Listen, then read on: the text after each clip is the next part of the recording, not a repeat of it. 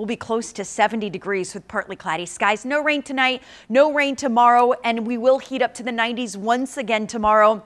Even by lunchtime, we're up to 87, and then we'll be in the upper 80s and low 90s through the afternoon. I have 91 expected in Atlanta tomorrow, 93 in Athens, 92 in Rome. And we tend to see this in the summer months when you have those high temperatures, that air quality does become an issue, and we're seeing it again now. We had an air quality alert for today. We have one for tomorrow as well. It is a code orange. That means the air quality is unhealthy for sensitive groups. So sensitive groups, the elderly, young children, those with asthma or heart lung conditions, conditions. You just want to limit your time outdoors in the late afternoon. That's when air quality is at its worst. You just don't want to be breathing in that yucky air in the late afternoon when the pollution is higher. So what do you need to do? You need to stay inside or go outside, water your plants. You need to do that as well. We are going to stay hot and dry Tuesday, Wednesday, and Thursday. So when to water your plants? Yeah, all three days. It's not until Friday that we have our next chance of rain. So from now through Thursday, no rain at all across the entire state of Georgia.